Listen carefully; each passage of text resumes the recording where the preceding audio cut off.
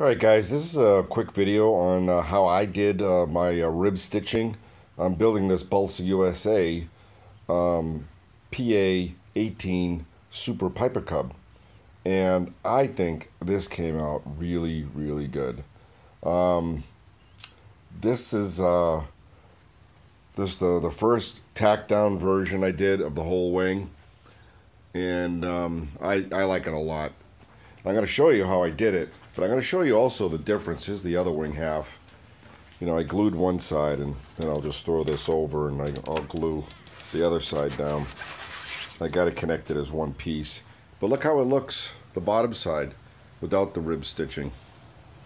Kind of plain Jane. Now, yeah, you don't need it, but, you know, I'm going through all this trouble of making this plane. I, I want it to look good.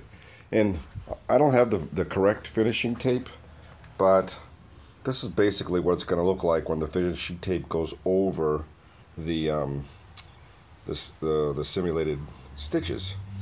Uh, this is not the right width. This is uh, fiberglass. I can't use this tape, but just give you an idea what it's going to look like. That looks sweet. It'll be all buttoned down nice. Um, I seen a, an article and uh, I seen a video of a guy doing it uh, it worked out really well. I um, basically have this um, piece of uh, piece of wood. It's flat, and it's particle board, two feet long, three feet in length. Um, you don't need it this big. It's just that I just wanted to get it done in one whack, not make multiple sets. Um, I'm building two Piper Cubs at the same time. Um, I'm a scratch builder, so it was easy for me to copy the pieces and just pump out uh, two models. I'll end up selling the, the other one.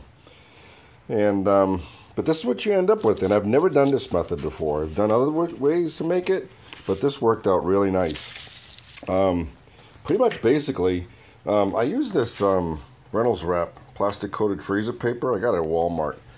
And um, I put down my self-healing mat. I put down that um, plastic paper with the plastic side up and uh, then put my uh, my fabric down. Um, obviously, a bunch of nails and you know the the strings back and forth. Glued it down with 50-50 um, wood glue and water, and completely dry. Let it completely dry overnight. Came back with uh, two more coats of um, three to one ratio, three parts glue, one part water, and uh, tacked down really well. So I'm just waiting for this to dry now. I can cut it up and you know this is basically what you end up with. And um, I cut out the size width that I needed for my ribs. And then again I'll end up putting the tape over the over the stitching. And I, I just I love it man. It's just it's sweet. It just gave so much character to the uh, the wing. And I think you might agree too. That looks so plain Jane. You know so and I made it one piece so I could just you know basically flip it over and, and, and glue it down. I'm using the poly um, the poly fiber. I'm sure you, if you guys are into this stuff, you know I'm talking about the uh, Stits system. Um, worked out really well. The smell is is uh, is not that bad opposed to dope, and um, I, uh, I'm really happy with it. Uh, yeah, I like it a lot. This is the um, the uncertified light version. Very very nice uh, to work with. Use the poly tack. And I got one coat of the poly brush, which I brushed on, and I'll spray two coats of uh, poly brush and then uh, two coats of poly spray, and then I put my color on. But, um, okay, uh, I'll be making another video how it progresses. But this is the simulated wood stitching with uh, cotton thread. It uh, worked out really good. Let me show you the cotton thread. I think I'm pretty sure I got that too at Walmart.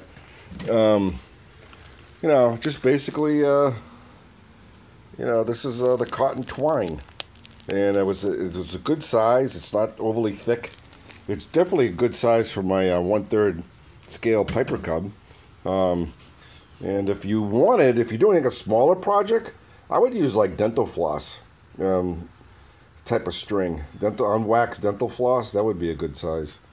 Uh, anyway, hope you enjoy it and uh, hope it helps somebody and um, I'm loving it. It's working out good.